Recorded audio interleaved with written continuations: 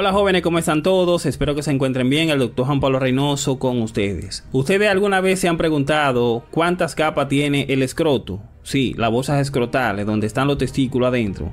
¿Se han preguntado eso?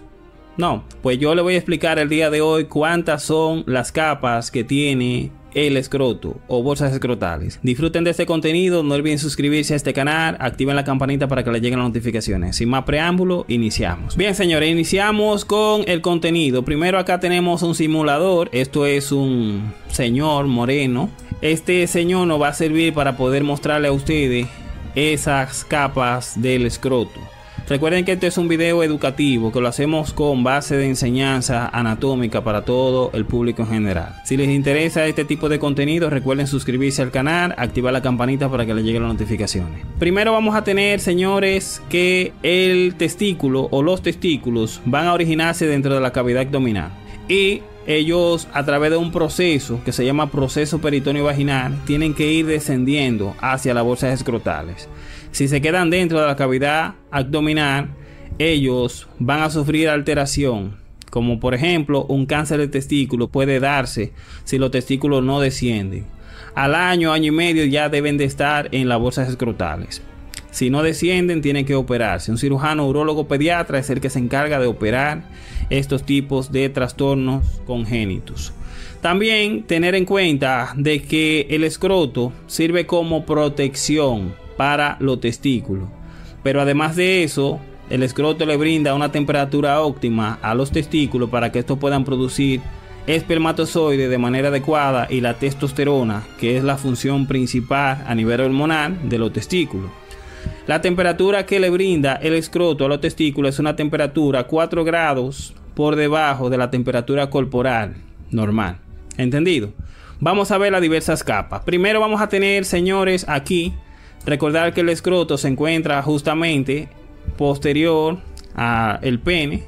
Y vamos a ver acá, quitamos la piel y debajo de la piel, vamos a quitar todo esto para poder ver mejor.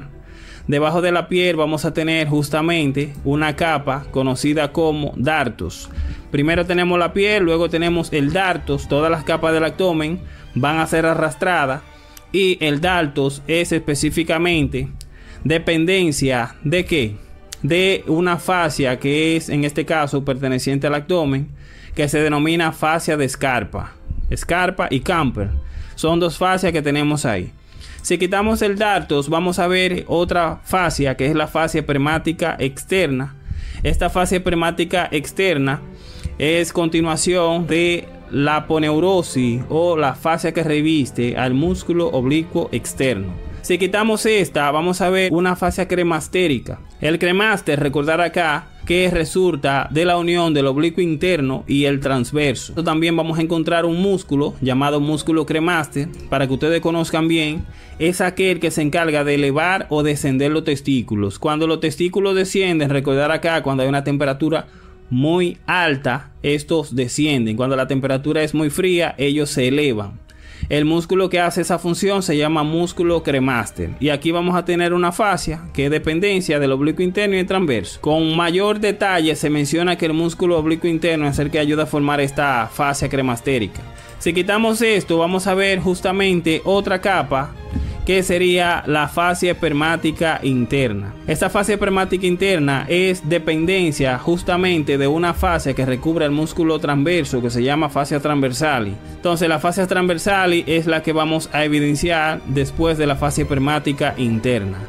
Si quitamos esa fascia transversal y vamos a encontrar la última capa, que sería la de peritoneo parietal. La dependencia del peritoneo parietal se denomina aquí a nivel del escroto como túnica vaginal. Y la túnica vaginal es aquella que va a tener dos capas o dos dependencias. Va a tener una capa visceral y una capa parietal. Entre ellas dos vamos a tener ahí una cavidad, al igual que en la cavidad peritoneal. Entre la hoja parietal y la hoja visceral del peritoneo tenemos la cavidad peritoneal. Si quitamos esa túnica vaginal, vamos a encontrar justamente entre la túnica vaginal, esta es la capa parietal, que es la de afuera. Vamos a quitar aquí. Miren, se ve separada la capa parietal y esta es la capa visceral. Entre ellas dos, ahí tenemos una cavidad, que es la cavidad que puede almacenarse líquido a este nivel y esto me puede producir un hidrocele.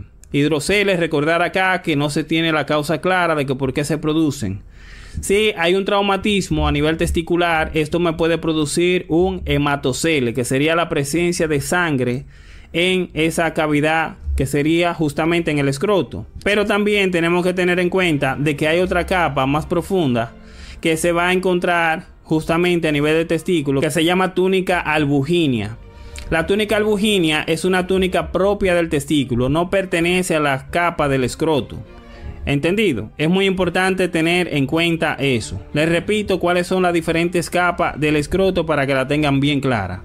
Tenemos la piel, que es la número uno, el dartos, que es la capa número dos. Luego tenemos la túnica espermática externa, Luego tenemos la fase cremastérica que viene siendo la número 4 y tenemos después la fase permática interna que es la número 5. La número 6 viene siendo la túnica vaginal. Recuerden acá que tiene dos hojas, una hoja visceral y una hoja parietal. La capa propia del testículo que se denomina túnica albuginia, que es la que estamos evidenciando aquí. Más adelante vamos a seguir explicándole todo con relación a esto, para que ustedes lo tengan bien claro. Ya saben, sígueme para más contenido. El doctor Reynoso estuvo con ustedes. Compartan este tipo de información con sus compañeros, colegas y amigos. Nos vemos en un próximo video.